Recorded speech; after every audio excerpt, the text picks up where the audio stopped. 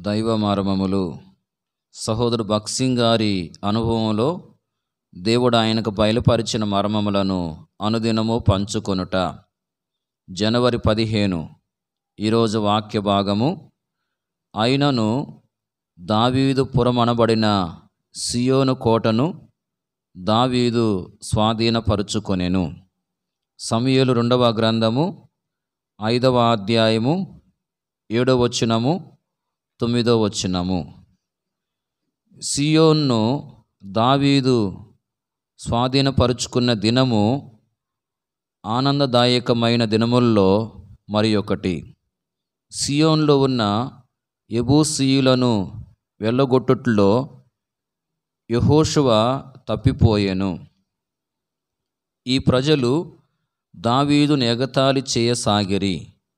కానీ దేవుని కృప ఆయన బలం వలన దావీదు వారిని వెళ్ళగొట్టగలిగెను. అవును దావీదు ఆ రీతిగా చేయగలిగిన దినము నిజముగా అతనికి సంతోషించదగిన దినమే. ఎందువలననగా తరువాతనే దేవుడు తన్ను ఏర్పాటు చేసుకుంటలోని ఉద్దేశమును మరి ఎక్కువగా దావీదు గ్రహించుటకు ఆరంభించాను. దేవుడు తన ప్రజల నిమిత్తమై కలిగి ఉన్న పరలోకపు ఏర్పాటును చూడగలిగాను.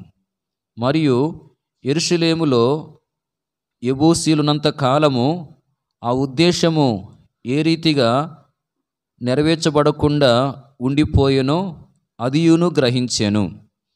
ఐగుప్తులో నుండి బయటకు వచ్చిన దేవుని ప్రజల ద్వారా ఎబూసీలు వెళ్ళగొట్టబడవలెను అన్నది దేవుని ఉద్దేశంలోని ఒక భాగము. తీర్పు తీర్చుటలో తన ప్రజలు ఆయనకు సహపని వారిగాను పాలి భాగస్థులుగాను ఉంటకే దేవుడు వారిని ఏర్పరచుకునేను. ఆయన పరలోకపు ఉద్దేశము నెరవేర్చబడినట్లు ఆయన బిడ్డవైన నీపై దేవుడు ఆధారపడుచున్నాడు. ప్రైస్తలాడ్